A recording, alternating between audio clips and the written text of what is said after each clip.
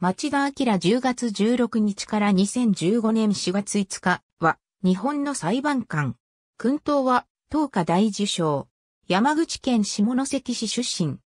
若年の頃は、司法修習の同期であった宮本康明と共に、青年法律家協会に所属し活動していたが、町田は早々に青法教を脱会している。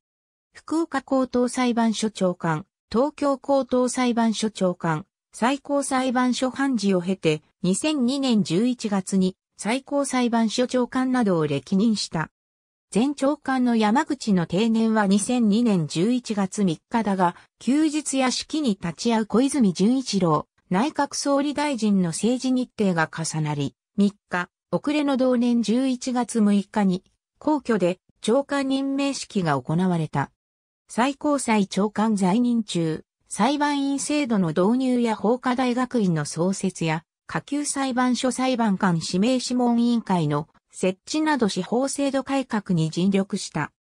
2003年の憲法記念日の記者会見では、裁判員制度実施の際の報道の自由との兼ね合いを聞かれ、双方の適正確保をどう調査させるか、さらに深い議論が必要と着々と進む司法制度改革には、憲法が裁判所に託した法の支配の確立を改めて自覚とそれぞれ述べた。最高裁長官としては2005年9月には在外日本人選挙権訴訟の最高裁大法廷の裁判長として在外日本人が国政選挙地方区に投票できない公職選挙法の制度について意見判決を出した。2005年9月28日に最高裁裁判官会議で人事院勧告に基づいて裁判官報酬を減額して地域格差を従来の3から12%から3から18%に拡大させることを議決し、同年10月に国会で裁判官報酬法改正案が成立した。